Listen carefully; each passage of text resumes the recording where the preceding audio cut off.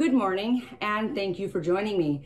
Today we're going to focus on our lower body. We're going to work our glutes and our outer thighs a little bit and we're going to use the band to do this. The movements that I show you today can be done without the band though, so make sure you keep that in mind. We're going to start by placing the band around the tops of our shoelaces and the bottom of our feet. And so then we'll come on all fours.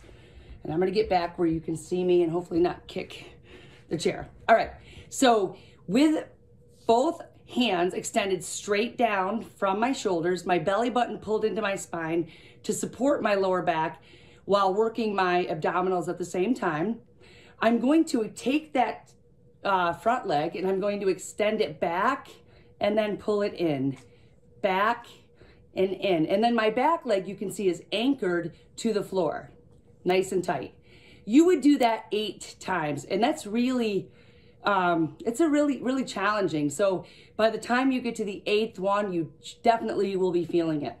But I'm going to suggest that when you get to the eighth one, that you do small pulses up from here two sets of eight, which is going to make 16 pulses straight up. From there, and I would do this without rest, um, we're going to change the way we bring our our foot back and forth. So I'm to extend it again.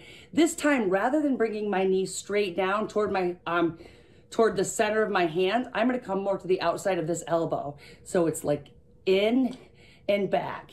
And that's going to get your obliques a little bit, which is a bonus and also your outer um, thigh as well as further back onto your glute over to this side, which also a bonus. Okay, so when I would do that right after you did the straight leg, and then I would go right in again on your eighth one, I would do the pulses up again, try to go for 16.